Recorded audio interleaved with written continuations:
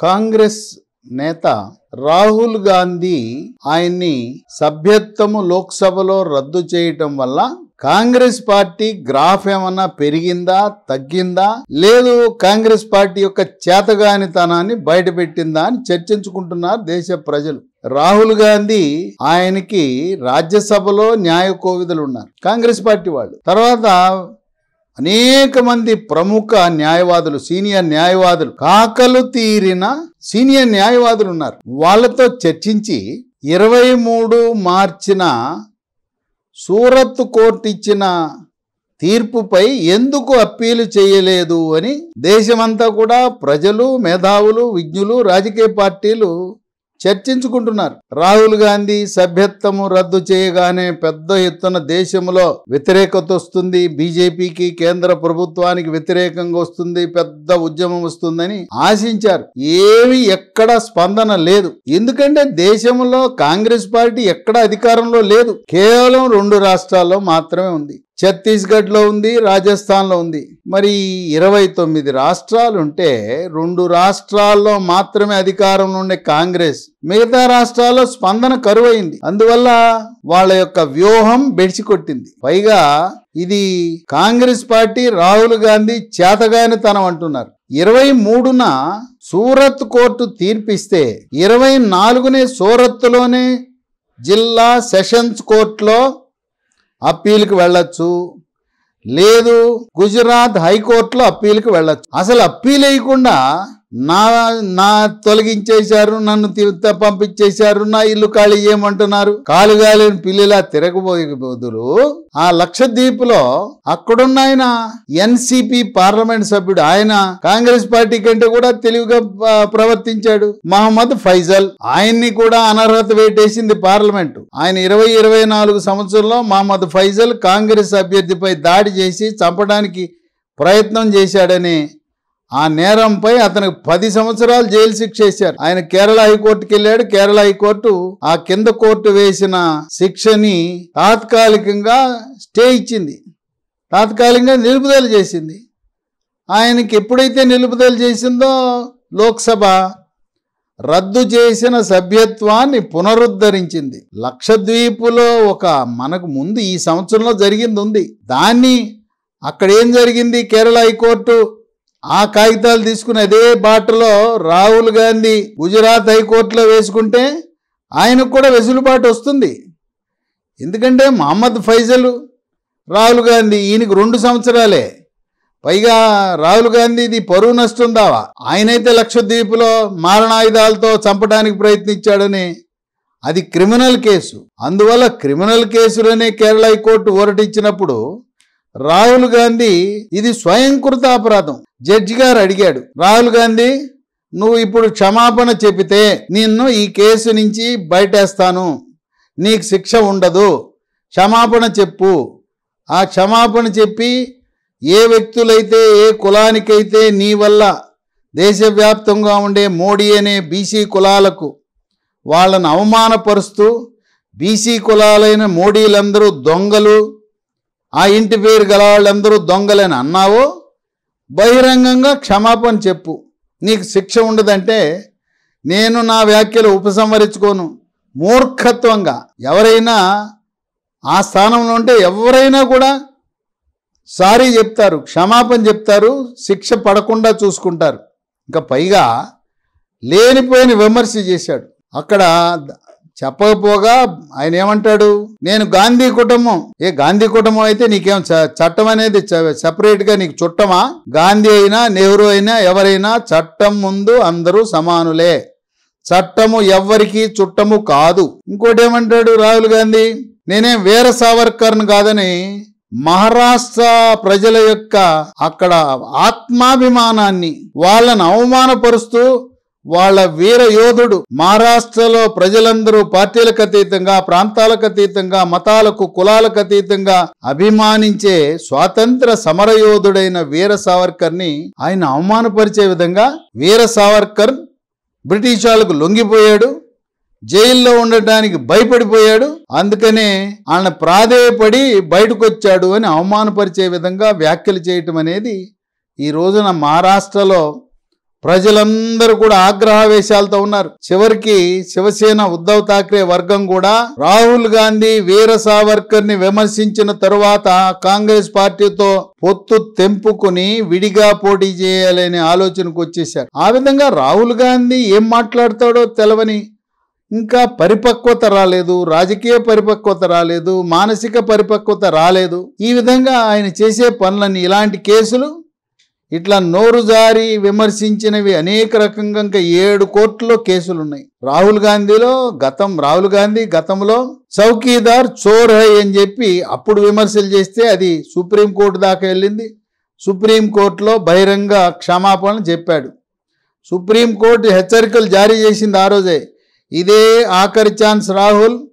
మళ్ళీ ఎప్పుడు కూడా ఇటువంటి నోరు జారి అవమానపరిచే విధంగా ఎవరిని ఏ సమాజాన్ని ఏ సంఘాన్ని ఏ వ్యక్తులను ఎవరిని గురించి మాట్లాడొద్దంటే సరే నేను ఎప్పుడు ఇలాంటి తప్పులు చేయనని అక్కడ చేతులు కట్టుకుని సుప్రీంకోర్టు ముందు క్షమాపణ చెప్పిన రాహుల్ గాంధీ ఇలాంటి విమర్శలు చేయటం. అంటే కావాలనే రాహుల్ గాంధీ అరెస్ట్ అవ్వడానికి సిద్ధమయ్యాడు. అంటే అప్పట్లో మనం స్వాతంత్రం కోసం మన పెద్దలు మా తాతలు మన తండ్రులు ఆ రోజులు ఇలాగే రైళ్ళు ఆపటం రైలు పట్టాలు పీకటం ఇలా చేసి వాళ్ళు స్వచ్ఛందంగా వెళ్ళి జైల్లో కూర్చునేవారు. రాహుల్ గాంధీ కూడా ఉద్దేశం ఏంటంటే జైలుకి వెళ్ళి కూర్చోవటం. జైలుకి వెళ్ళి కూర్చుంటే ఏదో సానుభూతి వచ్చేస్తుంది వచ్చేస్తుంది అనుకున్నాడు. ఎక్కడా కూడా సానుభూతి రాలా. జైలు శిక్ష పడినప్పుడు సానుభూతి రాలా. ఇప్పుడు రెండు సంవత్సరాలన్నా సభ్యత్వం తొలగించినా సానుభూతి ఎక్కడా కనపడటం లేదు. కానరావటం లేదు దేశంలో. ఏ మూల కూడా కనపడటం లేదు. ఆయన ఇల్లు ఖాళీ చేయటం అనేది సాధారణం. సభ్యత్వము తొలగించబడిన తర్వాత ఇందొక్కడైనా సభ్యత్వం? భారతదేశంలో ఇప్పటి వరకు పదిహేడు మంది ప్రజాప్రతినిధుల యొక్క సభ్యత్వాన్ని పార్లమెంట్లో కానీ లోక్సభ రాజ్యసభ శాసనసభల్లో తొలగించడం జరిగింది. గతంలో ఇదే లోక్సభలో లల్లు ప్రసాద్ యాదవ్ యొక్క సభ్యత్వం తొలగించడం జరిగింది. తమిళనాడు శాసనసభలో జయలలిత యొక్క ఆ సభ్యత్వాన్ని తొలగించడం జరిగింది. ఇప్పటికే పదిహేడు మందికి ఇలా జరిగింది. వాళ్ళు ఏ విధంగా లోక్సభ సెక్రటేరియట్ పద్ధతులు పాటించారో అదే పద్ధతులు పాటిస్తారు. ఇల్లు ఖాళీ చేయమంటం అనేది కూడా అది పద్ధతి. లోక్సభ సెక్రటేరియట్ సెక్రటరీ యొక్క ఆనవాయితీ ప్రకారము ఆచార వ్యవహారాల ప్రకారము నియమ నిబంధనల ప్రకారం ఉద్యోగస్తులు చేయవలసిన ధర్మం వాళ్ళు చేస్తారు. నోటీస్ ఇవ్వాలా? ఇచ్చారు. అమిత్ షా గారు చెప్పారు పెద్ద మనసుతో. వాళ్ళు నోటీసులు ఇస్తూనే ఉంటారు మనం సమయం అడగచ్చు కదా రాహుల్ గాంధీ. నాకు కొంత సమయం అండి ఈ ఇంట్లో నేను నాలుగు సార్లు గెలిచి ఇరవై ఏళ్ళుగా ఉంటున్నాను. నాకు మూడు నెలల్లో ఆరు నెలల్లో ఎంతో సమయం ఇస్తే నీదేమన్నా కాదన్నారా? కనుక వాళ్ళ నియమ నిబంధన ప్రకారం ఉద్యోగస్తులు వాళ్ళ పని వాళ్ళు చేశారు. నువ్వు అడగచ్చు కదా నిన్నేమన్నా మూడు నెలలు ఆరు నెలలు ఇస్తే కాదని అన్నారా? కనుక నువ్వు ఉద్దేశపూర్వకంగా దేశ జనం యొక్క దేశ ప్రజల యొక్క సానుభూతి పొందాలి. ఈ జైలు శిక్ష వల్ల నీకు సానుభూతి రాదు. అలాగే సభ్యత్వం తొలగించడం వల్ల రాహుల్ గాంధీకి సానుభూతి రాలేదు. ఇల్లు ఖాళీ చేయమంటే అసలే రాలేదు. కనుక కాంగ్రెస్ పార్టీ ప్రతిష్ట ఏమాత్రం పెరగకపోగా ఇంకా దిగజారిసే పరిస్థితిలో ఉంది. వీళ్ళు ఆడలేక మధ్యలో ఓడనే విధంగా వక్ర మార్గాలలో ఏదో రకంగా కాంగ్రెస్ పార్టీ యొక్క ప్రతిష్టను పెంచుకోవాలి రోడ్డెక్కి ప్రతిష్టను పెంచుకోవాలి. లేదా ఈ సందర్భంగా దూర దూరంగా ఉంటున్న ప్రతిపక్షాలన్నీ కలిసికట్టుగా వచ్చి యూపీఏలో చేరతారనే ఒక ఆలోచనలో ఉన్నారు. పోనీ ఏమన్నా ఈ రాహుల్ గాంధీ యొక్క శిక్ష సభ్యత్వ తొలగింపు ఇల్లు ఖాళీ. ఈ అంశాలు కర్ణాటకలో ఉన్న కలిసి వచ్చే అంశం అంటే అక్కడ కూడా కలిసి వచ్చే పరిస్థితి లేదు. కర్ణాటకలో కాంగ్రెస్ పార్టీ పరిస్థితి అధోగతిలో ఉంది. ఎవరికి వారే యమునా తీరే అనే పరిస్థితిలో ఉంది అక్కడ మూడు ముక్కలాట మూడు గ్రూపులు. ఒకటి జాతీయ అధ్యక్షుడు మల్లికార్జున్ ఖర్గే వర్గం రెండు డికే శివకుమార్ వర్గం మూడు సిద్ధరామయ్య వర్గం. సిద్ధరామయ్య అంటున్నాడు ఇది నాకే ఆఖరి ఎన్నికలు. కనుక నేనే ముఖ్యమంత్రి నన్నే ముఖ్యమంత్రిగా ప్రకటించండి నేనే ముఖ్యమంత్రి అవుతాను అని చెప్పి ఆయన ప్రచారం ఆయన చేసుకుంటున్నాడు. డికే శివకుమార్ ఆర్థిక వనరులు ఉన్నాయి శక్తివంతుడు సమర్థుడు. ఆయన నేనెందుకు ముఖ్యమంత్రి కాకూడదు? కష్టపడేది నేను ముఖ్యమంత్రి అయ్యేది సిద్ధరామయ్య నేనే అవుతాను ఆయన. ఈ విధంగా మూడు గ్రూపులు అంతర్గత పోరుతో అంతర్గత కుమ్ములాడుతో ఎవరికి వారే యమునా తీరే అనే విధంగా ప్రయాణం చేస్తుంది కర్ణాటకలో కాంగ్రెస్ పార్టీ. అక్కడ సీనియర్ నాయకులు ఉన్నారు. జి. పరమేశ్వర హెచ్కే పాటిల్ వాళ్ళని పార్టీకి దూరంగా పెట్టి వాళ్ళకి టిక్కెట్లు ఇచ్చే పరిస్థితి కూడా లేకుండా చేశారు. ఇటువంటి అగమ్య గోచరంగా ఉన్న కాంగ్రెస్ పార్టీ కర్ణాటకలో అధికారంలోకి రావటం కల్లా అని విశ్లేషకులు భావిస్తున్నారు. అక్కడేమన్నా రాహుల్ గాంధీ జైలు శిక్ష సభ్యత్వం తొలగింపు సంఖ్యాపరంగా అధికంగా నూట యాభై ఒక్క సీట్లున్న వైఎస్ఆర్సీపీ పార్టీలో అయితే దాదాపు పదిహేను మంది ఎమ్మెల్యేలు వాళ్ళ వారసులను ప్రవేశపెట్టాలని ఇప్పటికే బహిరంగ పత్రికా ప్రకటనలు చేసి జగన్మోహన్ రెడ్డి దగ్గర కూడా విన్నవించుకున్నారు. అయినా ఆయన మొహమాటం లేకుండా ఈసారి ఎవ్వరికీ మినహాయింపు లేదు. వారసులకు నేను ఇవ్వను. కూతుళ్ళకు కొడుకులకు అల్లుళ్ళకు మనవళ్ళకు మనవరాళ్ళకి ఎవ్వరికి కూడా స్థానము లేదు. ఇరవై ఇరవై నాలుగు ఎన్నికలు చాలా కీలకం. తెలుగుదేశం పార్టీ జనసేన కలిపి పోటీ చేస్తే వైఎస్ఆర్ పార్టీకి గడ్డు కాలం ఉంటుంది.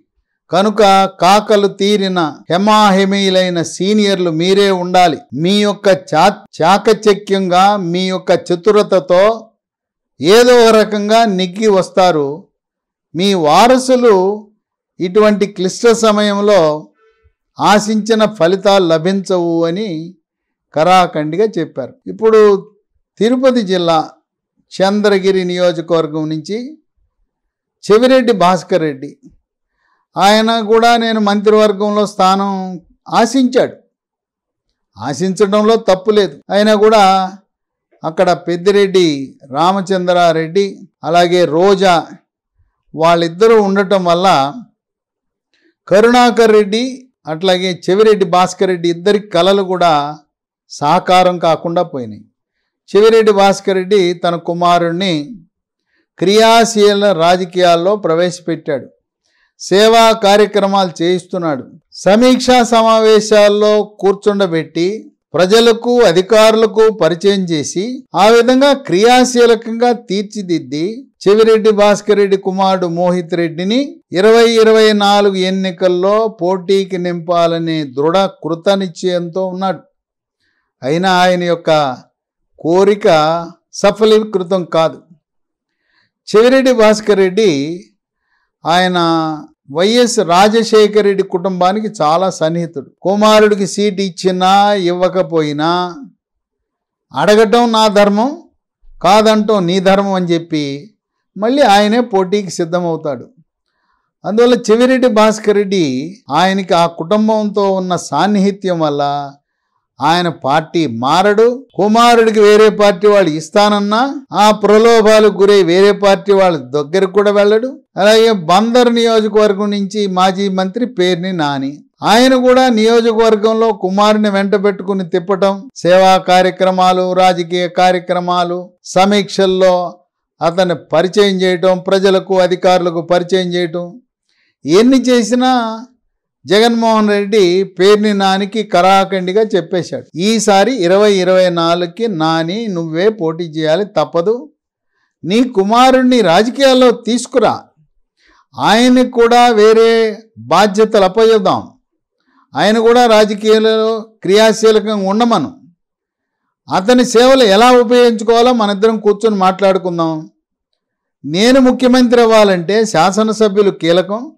కనుక సీనియర్లు చాకచక్యము నైపుణ్యం రాజకీయ నైపుణ్యము అలాగే వాగ్ధాటి వాక్చాతుర్యము ఇన్ని కలిగి ఉన్న సీనియర్లు పక్కకు తప్పుకుని వెనకుండి మేము మా వారసుల్ని గెలిపిస్తామంటే సాధ్యపడే విషయం కాదని చెప్పి ఆయనకు కరాఖండిగా చెప్పటం జరిగింది. ఇలా మరో పది నియోజకవర్గాల్లో వాళ్ళు అడగటం ఈయన తిరస్కరించటం మానసికంగా వైఎస్ఆర్సీపీ పార్టీలో ఉండే వాళ్ళ వయసు పెరిగిన వాళ్ళు జబ్బులు ఉన్నవాళ్ళు ఏదైనా కూడా అందరూ ఇరవై ఇరవై నాలుగులో మనమే నిలబడాలి. తదుపరి అవకాశం మన కుమారుడికి ఉంటే అప్పుడు అనేది సిద్ధమయ్యారు.